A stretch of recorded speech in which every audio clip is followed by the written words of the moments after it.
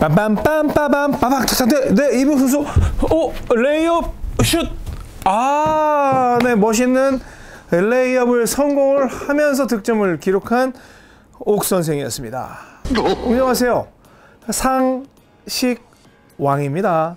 상식 왕. 새롭게 여러분께 인사를 드립니다. 오후 6시에는 상식왕이 여러분들께 상식적인 내용을 전달해 드리도록 하겠습니다. 우리 삶에 대한 아는 것에 대한 이 갈증 그걸 우리 상식왕이 풀어드리게 될 텐데요. 사실은 요즘에 뭐 네이버 아니면은 뭐 구글 찾아서 안 나오는 내용은 없습니다. 하지만 골프장에서 실제로 있을 법한 그러한 이야기를 가져와서 여러분들과 대화를 나눠볼 테니까 정말 편하게 들어보시기 바랍니다. 아, 오늘 여러분들께 드릴 상식에 대한 내용은요, 바로 용어입니다, 용어. 그 첫 번째 순서는 바로 lay up, 띵, lay out, 띵, lay up과 lay out에 대한 혼동 또는 혼용 이 점에 대해서 말씀을 드리려고 합니다. 우리가 lay out이라고 하는 용어도 쓰고 또는 lay up이라는 용어도 쓰잖아요. 골프장 갔는데 옥 선생이 티샷을 했어요. 티샷을 했는데 뭐 타겟 지향성 자 똑바로 어어어어어어어어어어어 아 페어웨이 끝인데 페어웨이 끝인데 페어웨이 끝인데 캐디분한테 이제 묻죠 어떻게 됐어요? 어 가봐야 될 것 같습니다 있을 수도 있는데 가봐야 되겠습니다 하고 갔어요 그랬더니 이런 된장 나무 아래 있어 갖고 이거 진짜 스윙 아이고 가지 아우 이거 어떻게 이거 그러자니 언플레이어블을 하기도 뭐하고 이걸 또 뭐 제대로 어? 치긴 쳐야 될 것 같고 또 자존심도 있으니까 이걸 들고 나오기는 뭐하고 그래서 한번 쳐보려고 합니다. 그랬더니 싹 저쪽에 보니까 그린이 보여. 그린이 보이는데 한 150m를 쳐야 된대요. 근데 아 이 안을 빠져나가서 저쪽 150m까지 가지도 못할 것 같아. 에이 안 되겠다. 캐디분한테 이야기를 하죠. 여기 피칭 웨지 갖다 주세요. 또는 9번 아이언 갖다 주세요. 그랬더니 갖다 줬습니다. 그랬더니 스윙을 크게 하지도 못하니까 한 요 정도 들어서 탁 쳐내가지고 내보내죠. 아 이거 정말 스윙 탁! 에이 탁! 에이 또 걸리네. 그리고 여기서 이렇게 쳐가지고 그나마 뭐 페어웨이로 나오면 좋고 이 러프 좀 A컷 러프 있잖아요. 짧은 러프. 그쪽에 나왔어요. 어 다행이다. 아 그런데 이걸 갖다 또 올려야 되는데 이제 이런 생각을 하는 이 상황. 이때 제가 했던 이 샷 여기에서 풀스윙이 아니라 저쪽으로 지금 쳐야 되는데 이쪽으로 나와야 되는 이렇게 아주 나와야 되는 이 샷. 이걸 바로 레이 아웃 레이 아웃이라고 하죠 왜냐면 여기 안 좋은 데 있던 걸 갖다 겉으로 밖으로 꺼냈으니까 레이 아웃이라고 합니다. 라고 하면 띵 띵. 틀린 표현이에요. 무조건 우리가 아웃이라는 게 우리 느낌적으로는 탁 와닿거든요 근데 실제로는 이 샷은 레이 업이라고 합니다. 레이업. 그래서 우리 농구할 때 탁탁 하면 레이업 슛 갖다가 놓고 오는 이 슛을 갖다가 레이업이라고 하는 것처럼 레이업이라고 합니다. repeat. 한번 따라해 볼까요? 여기에서 나무 밑에서나 아니면 치기 안 좋은 데에서 정상적인 스윙이 아니라 일단 꺼내놓고 꺼내세요 라고 하는 그 스윙 자체는 lay up, lay up, lay up, lay up.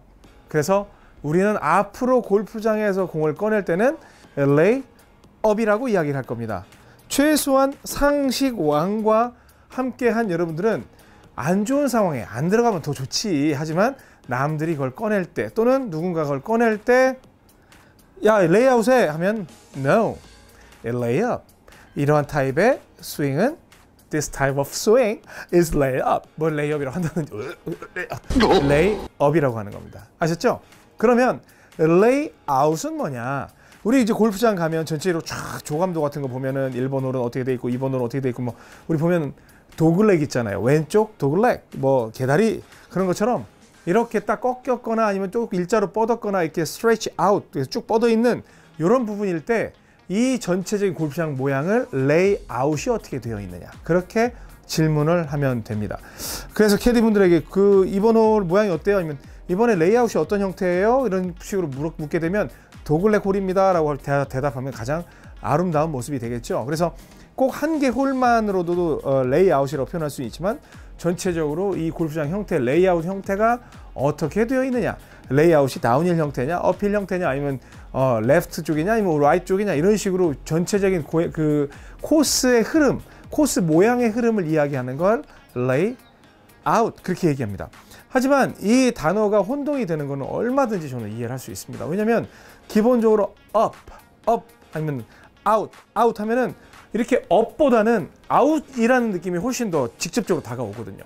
하지만 이러한 부분에 대한 상식을 여러분들께 전달해드리고 함께 알고 쓰면 좋잖아요. 사실 레이업이라는 동작을 레이아웃이라고 써도 크게 문제가 될 건 없어요. 하지만 알고 쓰는 거. 그러면 우리가 유튜브를 하는 목적이 있는 거잖아요. 그래서 여러분들이 사실은 그냥 찾아봐도 돼. 나와. 하지만 우리 상식왕이 여러분들과 대화를 하면서 이렇게 설명을 해줬을 때 훨씬 더 도움이 될 수가 있는 거죠. 그래서 우리가 레이 업을 안 하기 위해서는 어떻게든 타겟 지향성으로 가야 되는데 타겟 지향성으로 가게 되면 우측으로 날려서 뭐 이거는 레이업 할 기회조차 없을 수 있죠. 그냥 특설티 가서 치세요. 이제 그렇게 얘기할 수도 있는 거잖아요. 그렇죠? 그런 것처럼 항상 여러분들이 레이업이라는 동작을 안 하기 위해서는 최장타를 치는 것도 중요하지만 그쪽으로 어떻게든 보내려고 노력을 하는 이러한 몸짓을 가지고 스윙을 할 때 여러분은 레이업이라는 동작 구석에서 꺼내는 레이업, 레이업 동작을 최소화시킬 수가 있습니다. 그리고 멋지게 골프를 시작할 때 우리 관계자분에게 어, 코스 이 홀 레이아웃 형태가 어때요? 레이아웃, 레이아웃 형태가 어때요? 그러면 아 왼쪽 dogleg 홀입니다. 그러면은 여러분들은 아 내가 너무 왼쪽으로 치면 lay up을 해야 되는 상황이 발생할 수 있겠구나. 우측으로 너무 밀리면 lay up을 해야 되는 상황이 발생을 할 수가 있겠구나. 그래서 나는 어떻게든 쭉 센터로 쳐서 최대한 레이 아웃 형태를 활용을 해서 lay up 동작을 안 하기 위한 플레이로 가야 되겠다라고 결심을 하는 겁니다. 아셨죠? 오늘 lay up 안 좋은 곳에서 꺼내는 걸 lay up. 그럼 레이 아웃은 쭉 펼쳐진 레이아웃은 쭉 펼쳐진 그러한 골프장의 형태라는 거 알고 쓰면 도움이 될 겁니다. 상식왕은요 이런 용어만 설명하는 게 아니라 이 샤프트의 특성, 헤드의 특성 정말 이 정도는 상식적으로 알아두면 매우 도움이 된다는 내용 여러분들이 궁금해하는 내용을 제가 어, 접수를 받아서 소개를 해드리도록 하겠습니다. 상시광이었습니다.